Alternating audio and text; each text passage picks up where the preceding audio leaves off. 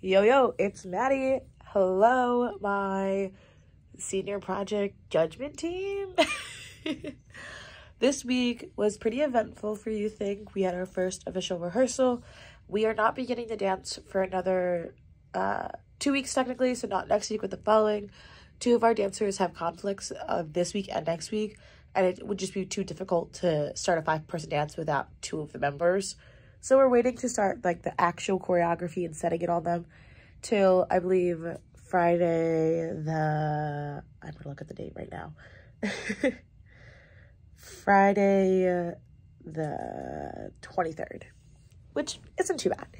But we did get we did I did have a meeting with four out of the five of my dancers this week and I was able to get all of their voices recorded for the song introduction and I'm going to play it for you right now so you can hear it because it's not fully cut together yet but the beginning which is supposed to be the most like really impactful part is. So I'm going to play it.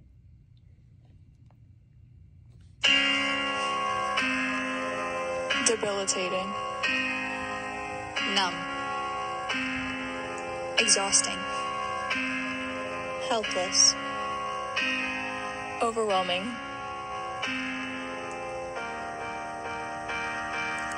debilitating, numb, exhausting, helpless, overwhelming, debilitating, numb, exhausting, helpless, overwhelming, debilitating, numb, exhausting, helpless, overwhelming, debilitating, numb, exhausting, helpless, overwhelming, debilitating, numb, exhausting, numb, exhausting, exhausting, exhausting, overwhelming, overwhelming, debilitating, numb, exhausting, overwhelming, overwhelming, overwhelming, overwhelming, depression.